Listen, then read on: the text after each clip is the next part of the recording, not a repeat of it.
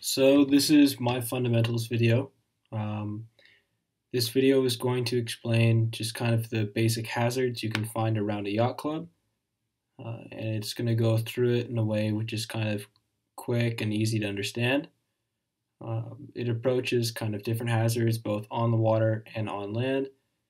Uh, things which would come as a direct result of sailing or things that you would just find at any day camp. Uh, it touches on a number of examples and here we go. We're going to be talking about hazards, like local hazards that you can find around a yacht club. Okay, so just to start off, what is a hazard? Does anybody, could anybody tell me what a hazard is? Yes, Elena. Danger. Danger, good. A hazard is something which presents danger to you. So, why is it important to recognize that there's hazards around a yacht club? Kayla? To promote safety. Yeah, to promote safety. And why do we want to promote safety? So people don't get hurt. Yeah, so people don't get hurt. There we go. Um, so let's let's try to name some hazards that could be at a yacht club. So I'll start off. I think one example of a hazard is like like a large pier. I think that's how you spell it. Like a large pier. I think that's an example of a hazard. Um, does anybody know why that might be a hazard? Yeah. You can fall off. Yeah, because you can fall off. There you go.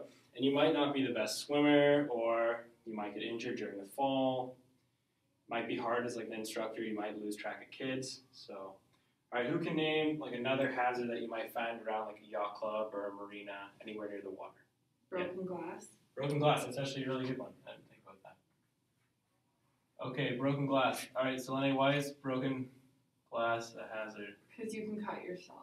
There you go. All right, let's try to get like two or three more. All right, so what's another one? Other yachts around. Yeah, other boats or other boaters. That's a good one. That's a big one because you never know what other people are going to do. All right, and anyone else?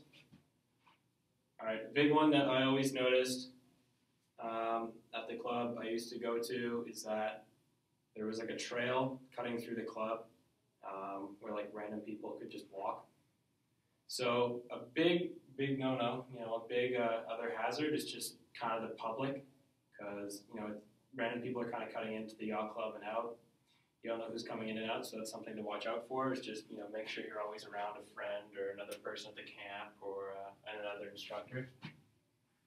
So let's write stranger danger for that one. All right, and there's one more that's not quite as obvious that I've kind of thought of. Um, that's like a big one, cranes. But like most clubs, they have like little cranes just for like put, uh, putting boats in and out of the water. And the problem is that sometimes kids like to play on the cranes or like to use the little control thing and hoist their friends up on it. And that can be really dangerous because you know there's moving parts. You can get your fingers caught in. You can fall, stuff like that.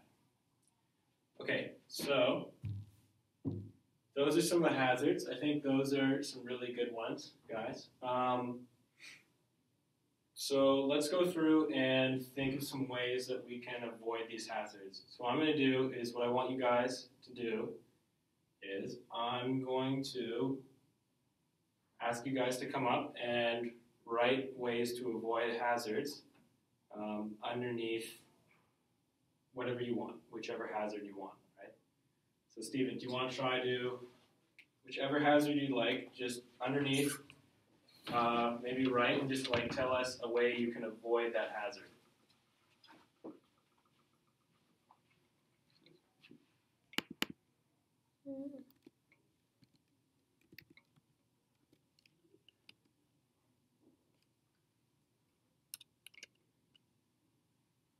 Be aware of other boat drivers or whatever. Boaters. There. Yeah, that's a good one. Definitely, definitely be aware of other boaters. All right, so why do we want to do that? Because it'll reduce the risk of us crashing into them or vice versa. Yeah, exactly. It reduces the risk of having a run-in with someone. All right, so Selene, do you want to do one for us? Sure. Any any hazard you'd like, just name a way to avoid it.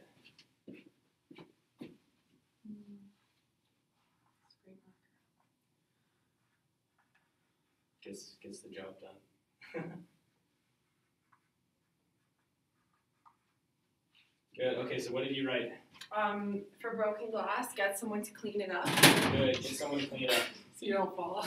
Good. So like, so sometimes uh, what can happen, especially a lot of yacht clubs, is that um, you have older people, like parents or older members of the club, on Fridays, Saturdays, Sundays, or if it's in the summer on any night, um, maybe having a, a party or getting a little rowdy, and they might leave some bottles lying around, and they might regularly break glasses. Happens all the time.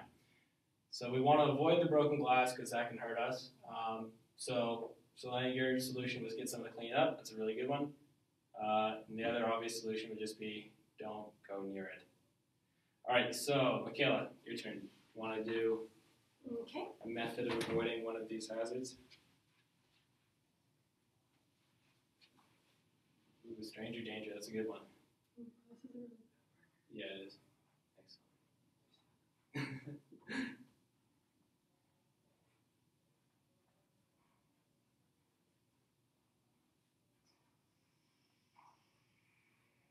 Good, I okay. report any unknown people. Report any unknown people. That's really good. Okay, so who would we want to report like just weird random people kind of walking around the club to? Like who, who would I report those people to? Like if I wanted to tell like who like what I tell Workers. workers, good. So like I could tell another instructor. Um, I could tell the head instructor. It's always a good person, or just any adult that you trust that you know on the premises. Um, all right, so I'm going to do the last two.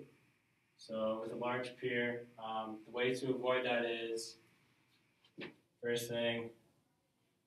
Let's switch up the marker. First thing is just don't go near it. That's the big one. Don't go near it um, unless you're with your instructor, um, or if you really have to, just try to be like around like a responsible adult, but you know, hopefully an instructor. Um, the other way to avoid the large pier, if you do have to go on it, make sure you're wearing your life jacket. Uh, why is it always a good idea to wear a life jacket anywhere around the water, guys? In case you fall in. Good in case you fall in, because even if we're a good swimmer, uh, it might be really wavy, might be a storm, we might just be shocked that we fell in, if we get pushed in or something. And in that moment, you just want to know that you'll be able to kind of float and then kind of collect yourself and then deal with it. Uh, lastly, with the crane, again, big way to avoid the crane, don't go near it. Um, other way that we can avoid the crane at uh, a yacht club, sometimes the instructors like will put fencing around it, but you know the big ones is just don't go near it and don't play with it. Okay, so uh, before I just do a quick wrap up, does anybody have anything else to mention? Any other hazards that they thought of, or any other ways to deal with any of these hazards? No. All right, awesome. Um, so let's just do a quick wrap up of what we talked about today, guys. Uh, so there's lots of hazards that can uh, occur around a yacht club. Um, of course, some of the more obvious ones are going to be related to going on the water. So you know, other boaters, uh, the pier, other boats that are you know moored in the harbor. Um, but then there's some less obvious ones. So the crane was kind of a less obvious one because not every club has it. But if they do have it, obviously you don't want to go near it just because you know it's it's a moving machinery. It's dangerous. Broken glass, it's not so obvious, but you know as yacht clubs are often social, social clubs as well. You do have incidences of that. Um, and I'd say out of all these ones, the big one, which you won't always find, but it's really important, especially since you guys are going to a camp, is stranger danger. Just make sure you report any unknown people kind of walking around the camp to an instructor, or the head instructor, or a responsible adult. Uh, and yeah, so thanks very much, guys. Pretty much any yacht club in general. Uh, of course, you're gonna have you know various other um, things at certain camps that you don't have at others. But I feel this video kind of did a okay job at you know capturing as much as you could. Uh, thanks for watching.